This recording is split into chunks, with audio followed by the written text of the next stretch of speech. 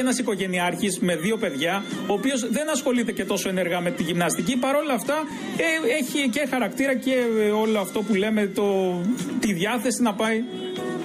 Εγώ, Νίκο μου, που έκανα το δικό μου το ρεπορτάζ. Όπα. Και εγώ είναι να μην κάνω ρεπορτάζ. Άσε, άσε. Έχω να σας πω δύο ονόματα, ενός άντρα και μιας γυναίκας, που θα μπουν σίγουρα. Ότι είναι αυτοί που είναι δύο από αυτούς που θα δούμε σίγουρα στο Είναι παιχνίδι. δύο παίκτες που σίγουρα θα τους δούμε στο reality επιβίωσης. Θα ξεκινήσω από τον άντρα Ναι. και είναι ο Νέρι Αλμπέρτο Καστίγιο. Νέρι Αλμπέρτο Καστίγιο, μάλιστα. Ποδοσφαιριστή. Ε, ποδοσφαιριστής, μάλιστα. Αν Και θες πολύ να μας πεις γνωστός. λίγο περισσότερες λεπτομέρειες για τον Καστίγιο, γιατί εγώ ως να γυναίκα. σου πω εγώ που ξέρω. Ναι, πες μας εσύ, Κωνσταντίνε. Έχει παίξει Ολυμπιακό, έχει παίξει Άρη, Manchester City, Σαχτάρ Ντόνετ και έχει κάνει δηλαδή μεγάλη καριέρα. Σαχτάρ Ντόνατ. Ντόνετς. Είναι, είναι μια εταιρεία που βγάζει ένα ντόνατς. Και έχει γίνει και διεθνής με το Μεξικό που είναι. Είναι ενεργός ποδοσφαιριστής, παίζει Όχι, ακόμα. όχι, πα- όχι, όχι, έχει αποσυρθεί.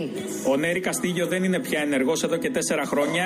Ήταν από τα αγαπημένα παιδιά του Ολυμπιακού. Να πούμε ότι είχε χαρακτηριστεί ένα παιδί θαύμα, καθώς ηλικία 16 ετών πήγε στον Ολυμπιακό. Ε, ήταν μια πολύ ηχηρή μεταγραφή εκείνη την περίοδο.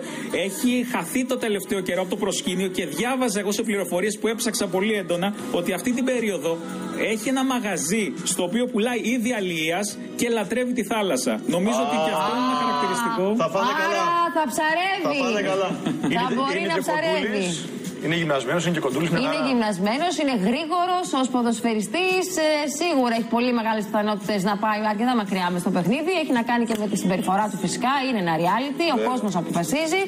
Οπότε ο Καστίγιο Και σαν είναι χαρακτήρας είναι ένας από τους διάσημους του Τσεκαρισμένο. Survivor 2018. Μπράβο, Ντορέτα, μπράβο. Ευχαριστώ, παιδιά. Και έχω και μία γυναίκα. Πάλι από τους διάσημους. Βέβαια, στην ομάδα των διασύμων σας έχω και μία γυναίκα η οποία ήδη ετοιμάζει το τίποτα. Μια τσαντούλα που θα πάρει ένα μαγιό. ναι. Ήδη λοιπόν ετοιμάζει αυτά που δεν θα πάρει και είναι η Όλγα Φαρμάκη. Έτσι. Ε, Μπράβο, Ντορέτα. Βεβαίως. Επιτέλους. Η Όλγα Φαρμάκη είναι η πρώην σύντροφος του Δημήτρη Αλεξάνδρου, αν δεν κάνω λάθος. Και αναφέρω τον Δημήτρη Αλεξάνδρου γιατί προσφάτως ήταν και αυτός σε ένα Σε αντίστοιχο reality παιχνίδι στο Νόματ.